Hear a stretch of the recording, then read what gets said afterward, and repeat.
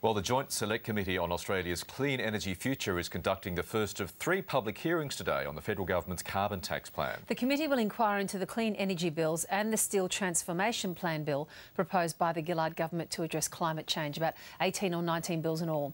Anna Burke is the chair of the committee. She's also the member for Chisholm in Victoria, and she joins us now from Canberra. Anna Burke, good morning. Thanks for joining us. My pleasure, Virginia. So the hearings are being held on, well, one was yesterday, uh, from the 21st to the 23rd, the 26th. Submissions had to be have to be made by, I think, uh, tomorrow, the 22nd. But then you're going to report on or before Friday, the 7th of October. It's not a whole lot of time, is it, for a considered look at some very complex bills?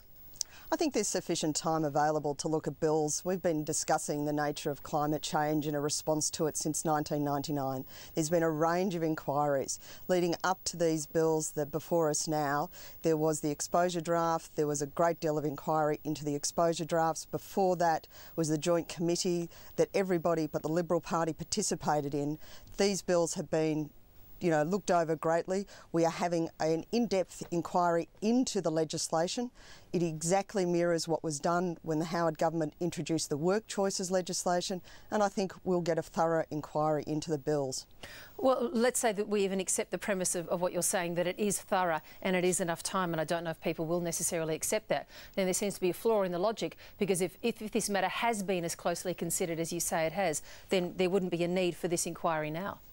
No, there is an inquiry now because the bills have now come before us. And when they're in their final stage, it's imperative that you actually go through those bills. So but much you, but you don't, but you don't, you don't have time and you don't have, just to jump in there, you don't have time and you don't even have the ability to make major changes to those 18, 19 bills anyway. I mean, Greg Combet's pretty much said as much when he said that only very minor changes could be made. So I, again, I guess I ask, what's the point?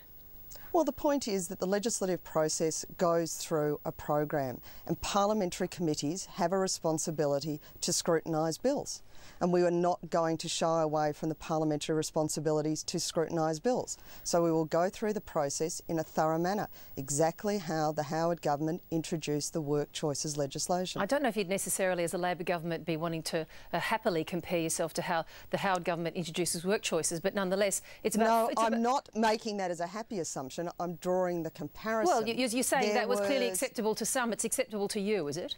No, I'm making the comparison that this is practice of a parliament where legislation needs to pass the House so that we can get it into action in the next year. The greatest problem with this legislation is bringing about certainty.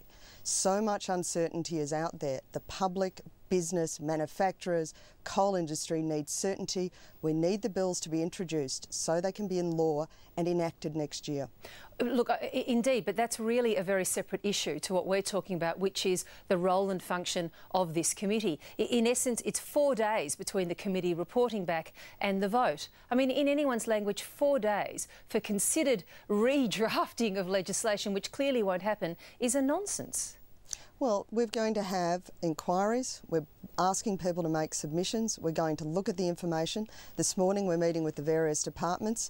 Next week in Canberra and Melbourne and perhaps another day of hearings we'll be calling upon expert witnesses. We'll be looking at the legislation. The legislation was put up as an exposure draft.